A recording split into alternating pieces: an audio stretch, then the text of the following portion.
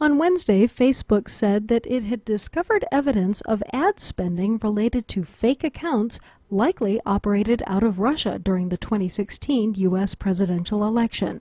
Alex Stamos, Facebook's chief security officer, said that in response to growing concern over Russian interference in the electoral process, the company conducted an examination of ads purchased over the past two years.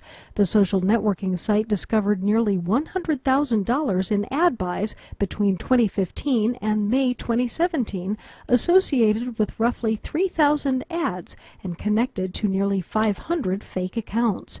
Stamos wrote in a post on Facebook's official blog, Our analysis suggests these accounts and pages were affiliated with one another and likely operated out of Russia.